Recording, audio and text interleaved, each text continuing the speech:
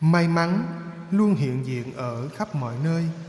Nó hiện diện nơi người được cho là xui xẻo hay người may mắn và có cách để mở khóa kho tàng may mắn mà bất cứ ai cũng có thể làm được.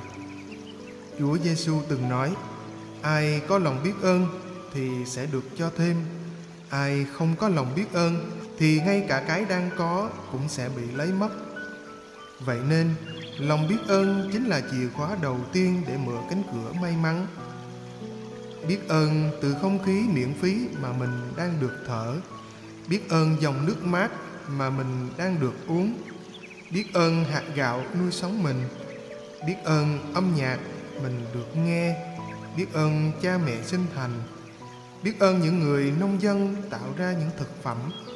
Biết ơn những người đã chia sẻ cho mình những điều hay biết ơn vì có được cơ thể lành lặn. Biết ơn vì biết đến sự biết ơn. Lòng biết ơn không những là chìa khóa mở ra cánh cửa may mắn, mà ngay khi biết ơn, lòng ta đã ngập tràn hạnh phúc.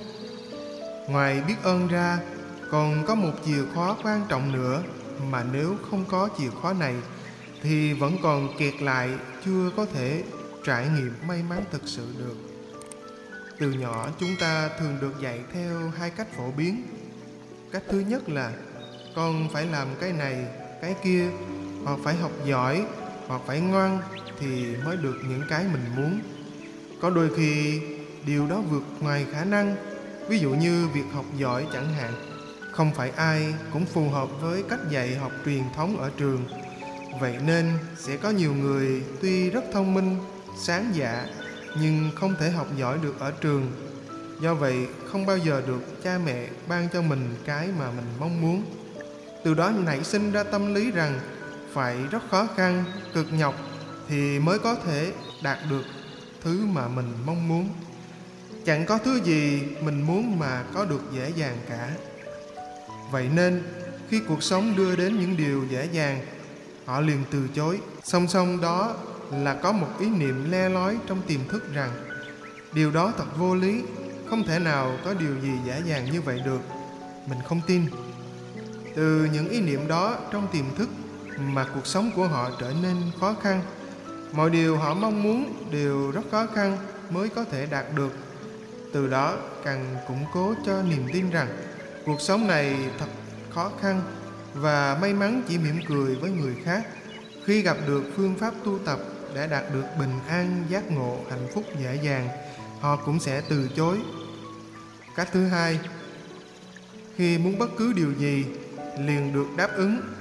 Cha mẹ cưng chiều hết mực, từ đó cho rằng mình là trung tâm của vũ trụ. Mình muốn gì thì phải được cái đó mà không có lòng biết ơn. Như vậy, khi bước ra cuộc đời, không được như mơ, không ai đối xử như cha mẹ mình, thì sinh tâm chán nản than trách. Mà càng than trách về điều gì thì sẽ càng nhận về điều đó nhiều hơn. Bởi gieo nhân là gieo từ trong suy nghĩ. Suy nghĩ là cái nhân để trổ quả mọi việc trong đời sống. Vậy nên, dù được nuôi dạy theo cách khó khăn hay dễ dàng, đều không phải là cách nuôi dạy đúng. Cách nuôi dạy đúng là phải thấu hiểu con trẻ, ra phần thưởng vừa với sức của trẻ và dạy trẻ cách biết ơn khi đạt được. Đó là cách nuôi dạy đúng. Vậy, chữa lành những tư duy sai lầm này trong tiềm thức bằng cách nào? Chúng ta phải thông qua thiền để hiểu rõ, thực hành chữa lành luân xa, nghe nhạc thiền và tu tập lòng biết ơn từ những điều nhỏ xíu. Như vậy thì cuộc sống sẽ bắt đầu có được sự may mắn. Chìa khóa thứ ba, để có được sự may mắn là cho đi cho đi cũng giống như là hít thở vậy. Hít vào mà không thở ra cũng đau khổ. Thở ra mà không hít vào thì cũng chẳng xong. Hít vào chính là biết đón nhận mọi sự từ may mắn đến xui xẻo và lòng biết ơn. Khi đón nhận điều may mắn thì biết ơn rất dễ, nhưng xui xẻo thì biết ơn thế nào? Mỗi khi xui xẻo tới thì nghĩa là vũ trụ đang gửi tới cho mình một bài học nào đó mà có thương thì vũ trụ mới gửi. Vậy nên, trước hết phải biết ơn vì điều xui xẻo này không làm bản thân bị chết.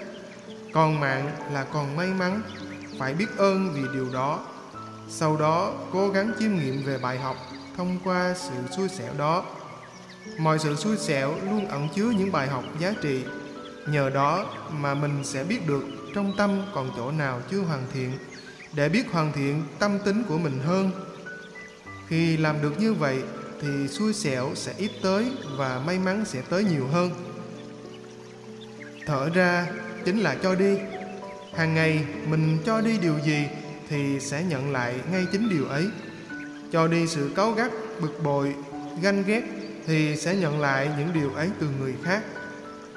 Cho đi sự dễ thương, nụ cười, sự động viên an ủi thì cũng sẽ nhận lại những điều đó cho tiền thì được tiền, cho niềm vui thì sẽ được niềm vui. Cho tình thương thì được người thương, cho sự giúp đỡ thì được người che chở.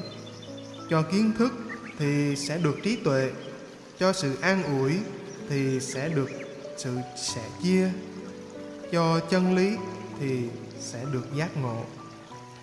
Đó là ba chìa khóa để mở cửa may mắn thịnh vượng trong cuộc đời mong rằng qua bài viết này, tất cả mọi người đều có được ba chìa khóa này để sống đời an vui, phúc lạc. Ba thói quen nuôi dưỡng lòng biết ơn mỗi ngày. Nuôi dưỡng lòng biết ơn mỗi ngày mang lại cho ta nhiều lợi ích về sức khỏe và tinh thần. Lòng biết ơn là phẩm chất quan trọng ở mỗi người, là chìa khóa cốt lõi mở lối cho một cuộc sống hạnh phúc. Khi có ai đó giúp đỡ chúng ta nên cảm nhận và biết ơn. Khi ý thức về những gì mình đang có, chúng ta nên cảm thấy may mắn và trân trọng. Khi cho đi, không cần cầu mong được đáp đền. Khi giúp đỡ người khác, không cần chờ đợi lời cảm ơn. Lòng biết ơn chỉ cần được hiện diện trong suy nghĩ cũng như hành động cụ thể của mỗi người. Nuôi dưỡng lòng biết ơn mỗi ngày mang lại cho bạn nhiều lợi ích về sức khỏe và tinh thần luôn có lòng biết ơn con người sống tử tế và tốt đẹp hơn. Lòng biết ơn còn tiếp thêm cho chúng ta nguồn năng lượng sống dồi dào và sức mạnh đối mặt với những khó khăn thử thách trong cuộc sống. Ba thói quen giúp bạn nuôi dưỡng lòng biết ơn viết ra những điều cảm thấy trân trọng. Thay vì thức dậy với tâm trí lơ đạn, bạn hãy bắt đầu một ngày mới bằng việc viết ra những điều bạn cảm thấy trân trọng về cuộc sống việc bắt đầu một ngày mới như vậy giúp chúng ta dễ dàng đón nhận và trân trọng hơn về những món quà mà cuộc sống đã ban tặng. Thói quen này cũng góp phần nuôi dưỡng về tinh thần tích cực, truyền cảm hứng cho bạn thực hiện những mục tiêu mà mình mong muốn. Nhìn thấy tích cực trong điều tiêu cực, cuộc sống luôn mang đến những ngã ba đường buộc chúng ta phải lựa chọn con đường nào cũng có cả cơ hội và nguy nan. Trong những tình huống không như ý, hãy tập trung vào những gì mình đang hướng, thay vì những bước bạn đã lỡ đi sai. Nếu xe bị hỏng giữa đường, bạn có thể cảm thấy biết ơn vì mình đã không bị trầy xước hay bị thương ở đâu đó. Hướng đến những điều tích cực không có nghĩa là nờ đi, vấn đề cần giải quyết mà là bạn đang nuôi dưỡng lòng trắc ẩn bên trong mình. Một tâm trí thông tuệ. Một tâm trí thông tuệ là một tâm trí luôn tràn đầy lòng biết ơn và bao dung những điều chưa đẹp. Từ hôm nay, hãy tự suy ngẫm và tìm ra những điều tốt đẹp trong những điều mà bạn đã từng thấy khó chịu.